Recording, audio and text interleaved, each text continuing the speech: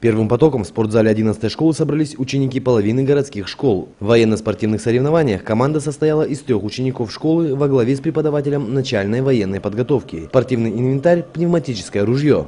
Военно-спортивное соревнование по стрельбе среди школ города, посвященное, приуроченное к дате 1 декабря, дню первого президента Республики Казахстан. Сейчас участвует первая половина школ, Через час будет участвовать вторая половина школы. Разбились так, чтобы было все удобно. 23 числа на базе нашей школы 33 будет проходить соревнования среди сельских школ. Ну и пусть победит сильнейший. Будущие защитники Родины, среди которых были и девочки, должны были как можно точнее поразить мишень с расстояния 10 метров. Каждому члену команды давалось 5 выстрелов. Что главное при стрельбе?